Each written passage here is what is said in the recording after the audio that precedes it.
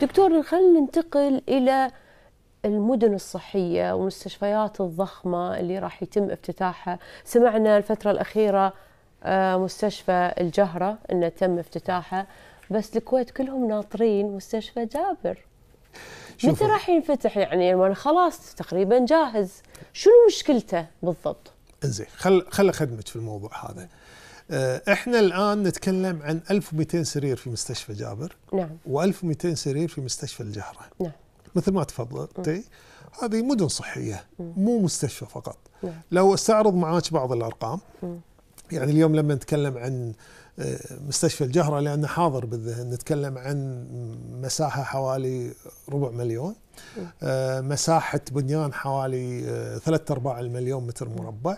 نعم. آه، ثمان مباني. آه، ستة منهم آه، أو أربع مباني عبارة عن أبراج كل برج حوالي 14 طابق. آه، سراديب وخدمات مساندة فيها الأفضل على مستوى المختبرات على مستوى الأشعة على مستوى نعم. آه، الخدمات المساندة الإطعام. قلنا ممكن هذه بس ال- المطابخ وال- والإطعام 10000 آه،.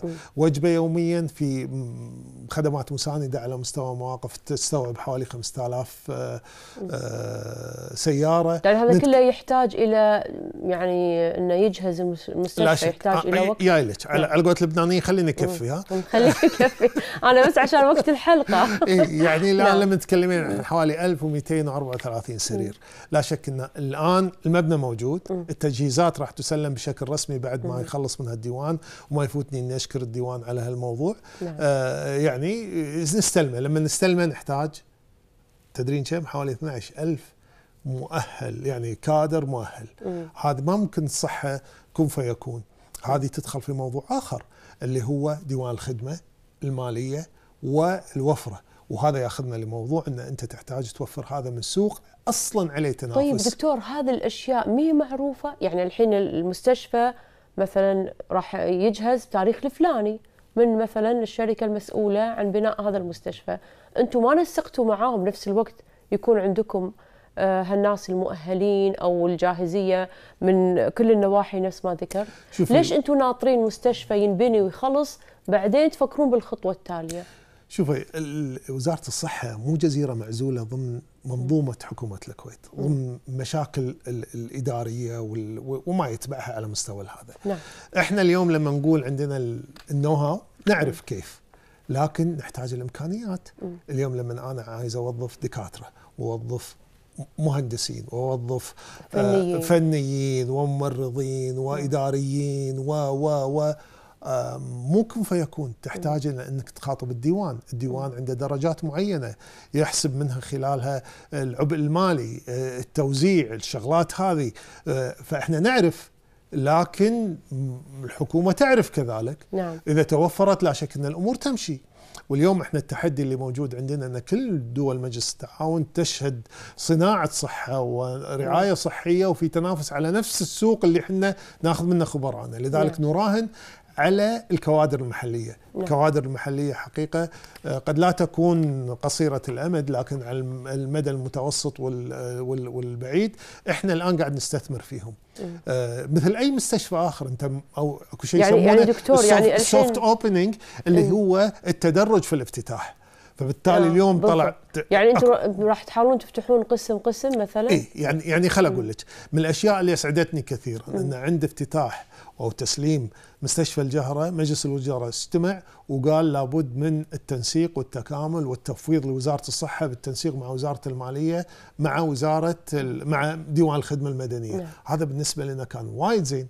الآن التدرج يحتاج إلى أن أنت تبدأ مرحلة وتنت يعني مثل ما قلنا جابر بدأوا بالأسنان بعدين راح يبدون بالعيادات الخاصة بعدين يبدون بالأجنحة مالت الباطنة بعدين يبدون وهذا إيش كثر. يبي لها 20 سنة بعد؟ لا ما أعتقد أقل بكذي يمكن 18 18 لا يعني هو هو لا شك إن الرؤية لأن دكتور المشكلة المشكلة إنه في ضغط وايد على المستشفيات الأخرى.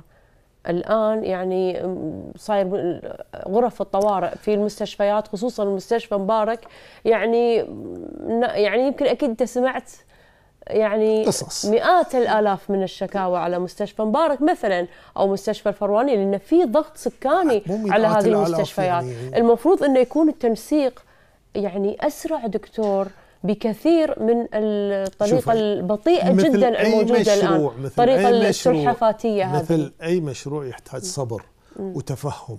وكل مشروع لازم يصير خطة موازية لتوعية الناس. يعني إيش كثر صيحنا على المشاكل اللي تحصل على الطرق؟ اليوم ممكن تطلع من الديرة توصل الجهرة خلال ربع ساعة. نعم. بنفس المنطق. معالي وزير الصحة الدكتور باسل الصباح قال في الافتتاح أنه مع نهاية يعني بالمستقبل القريب راح يصير عندنا 18 ألف سرير. وهذا لا شك توسع وأبراج قاعد تنفتح. هذه راح تقلل الانتظار أه تقلل الكثافة أه تزيد العمليات فبالتالي هذه كلها تاخذ وقتها. ويمكن نلاحظ إحنا يوم من الأيام كنا نشكي من مستشفى الصدري. الآن مستشفى الصدري مزار. كل من يذهب هناك يشوف الرقي يشوف الغرف يشوف اللي دعم بكفاءة وتجهيزات وكذا. آه، مكان نفخر فيه. نريد هذا النموذج يتكرر. يعني أنا أعطيك مثال. كان عملية غسيل الكلى إشكالية. اليوم عندنا إحنا في الجهرة وعن قريب في مبارك وفي في العدان. الآن الأرقام ما عادت تكفي. لا شك إنه تحتاج مزيد مثل هذه الأشياء، فالكثافة السكانية والتوسع السكاني قابلة مثل هالأمور. أمس إحنا كنا في ندوة عن الإدارة الصحية وكان هناك حديث عن مستشفيات الضمان الصحي. دكتور قبل أن نتكلم عن مستشفيات الضمان الصحي. الآن مع التنسيق مع ديوان الخدمة المدنية مثل ما قلت قبل شوي آه يعني تعيين الكوادر المحلية والفنيين وال... طبعا المستشفيات بهذا الحجم تحتاجون فيها أيضا إلى آه، كفاءات من الأخوة الوافدين. والآن هناك حديث إن عدم تعيين الوافدين أو زيادة الرسوم الصحية عليهم. هل هناك فعلا فكرة لاستقطاب الكفاءات من الأطباء من مثلا الوافدين من دول أخرى غير مثلا الوافدين دول أجنبية؟ لا شك. انت آه، يعني الدورة الحالية لاستقطاب الكفاءات بغض النظر عن الجنسية تبدأ بإعلان. ثم بمعرفة وما يسمى باللوكم. اللي هي زيارات مدة ثلاثة أشهر لبعض الكوادر اللي من خلالها آه، تقيسهم ويعني لا بس هل يعني في حديث عن استقطابهم ولا الآن مع مثلا يعتمد على التخصص بس أنت عندك حد أدنى, أدنى. اللي هو الم... يعني خلينا نقول الكفاءات اللي تحتاجها م.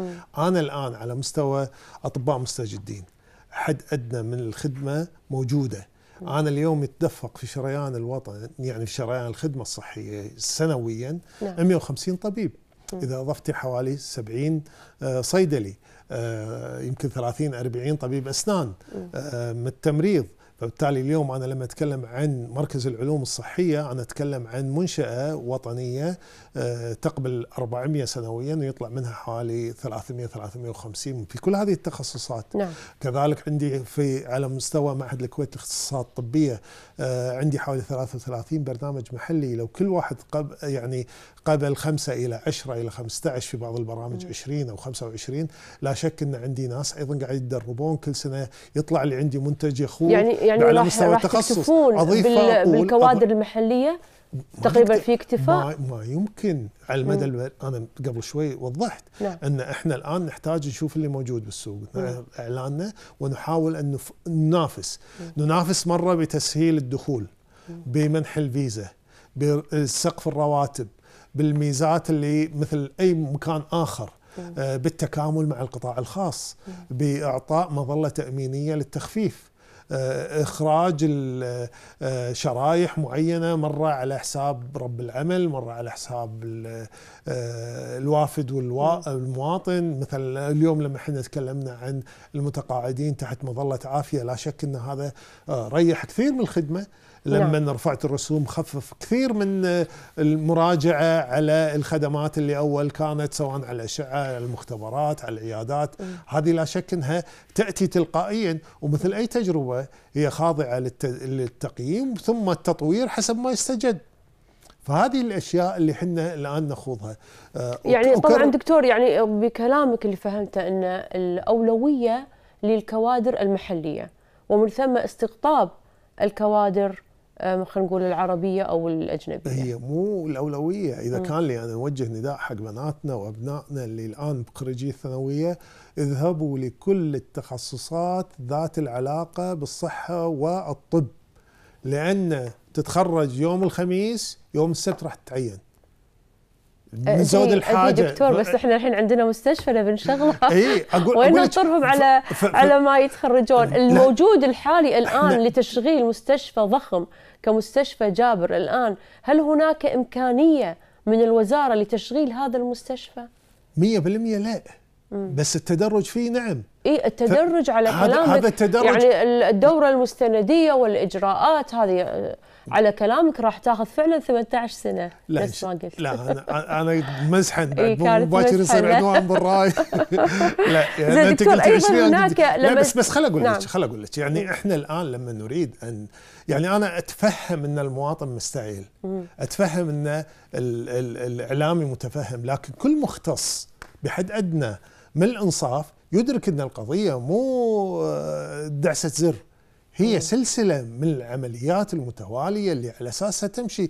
أنت لما تجيب الناس هذيل هذيل يبوا لهم سكن يبوا لهم خدمات يبوا لهم تسكين يبوا لهم آه يعني موافقات من الداخلية موافقات من الأمن آه, آه، رصيد. أنت الحين عندنا بعد ما, ما هذا هو دكتور الاجراءات الروتينية هذه إيه اللي قاعد تاخذ بس وقت مو مو بس عند الصحة. مم. يعني أنا اليوم عندي مثلا معادلة الشهادات. آه رسائل التزكية. لازم أتأكد منها لأن أنا انقرصت. في ناس بسبب الاستعجال قد يزرقون ما ما مثل الإعلانات التوظيف الوهمية؟ مثلا. اللي نعم اللي فهذه من ضمن الأشياء. بس أنا أكد لك يعني اليوم لما نتكلم عن الصحة إحنا نتكلم عن خبرة تراكمية بسنين. مم. لا شك إن حريصين إحنا بقدر ما إن نشغل إن ما نفرط بصحة المواطن نعم. ما نفرط بالجودة ما نفرط بمستوى يعني التوقعات إن الحاجة ملحة الآن للتسريع في كل هذه الإجراءات يعني إي بس هي هي الكفاءات إيه بس سواء من المحليين أو آه، الغير محليين سميره يعني نعم. أنت إحنا مستعيلين في كل شيء في التعليم في المواصلات في الاتصالات لأن تأخرنا وايد دكتور بس يعني أنت تبي يعني. تبي تقولي لي انه ماكو هناك ملاحظات على التعليم؟ ما في ملاحظات على آه كثير من الخدمات الأخرى؟ طبعا يعني بس أنا افهم دكتور هذه الخدمة هذه الأهم هذه تمس صحة الإنسان لا يعني. شك وهي اغلى وفي معاناة كبيرة دكتور. من أكثر المراجعين في مستشفيات الكويت وأكيد أنت سامع من المشاكل يعني أنا أقدر معاناة شخصية. سواء على الدكاترة في ضغط آه، عليهم ضغط على المواطن ضغط على المريض نفسه. نريد شيء من الإنصاف. هناك تطور أيضا. م. هناك مساحة. بس يعني الواحد يمرض مرة واحدة بالسنة يروح يعاني بعدين يقول إن كل الخدمات مو صحيحة. أيضا أكو مؤشرات موضوعية تستخدم على نعم. من مستوى منظمة الصحة العالمية تتكلم عن الكمية تتكلم عن ساعات الانتظار تتكلم عن الكفاءات تتكلم كذا. هذه كلها إيجابية لصالح الكويت. نعم. وبهذا الكلام الجميل نختم هذه الحلقة مع المتحدث الرسمي لوزارة الصحة الدكتور أحمد الشطي. شكرا جزيلا لك دكتور.